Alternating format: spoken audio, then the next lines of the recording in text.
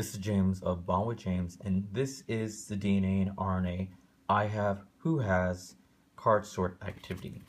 There are 24 cards in this set as of the making of this video, and this is a chain slash looping game.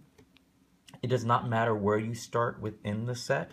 I can start with the first card, I can start with the card in the middle, I can start with one of the cards, you know, at the end. Again, it doesn't matter where you start.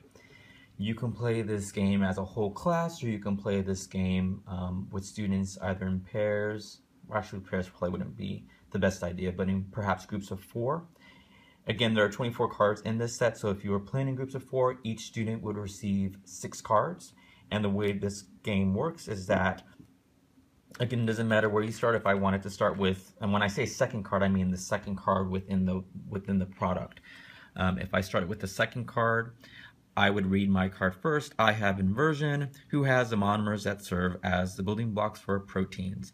And students would need to listen carefully to that clue, and whoever had the card or the answer for that clue would then read their answer. Oh, I have amino acids. And then that student would read who has an area inside the cell that contains genetic information required to code for proteins.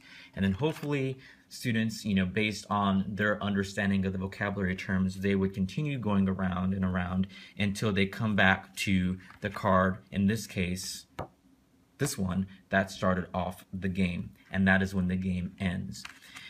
If you want to play as a whole class, and let's say, for example, you had the magic number 24 students, because there are 24 uh, cards in this set, um, then each student would receive a card.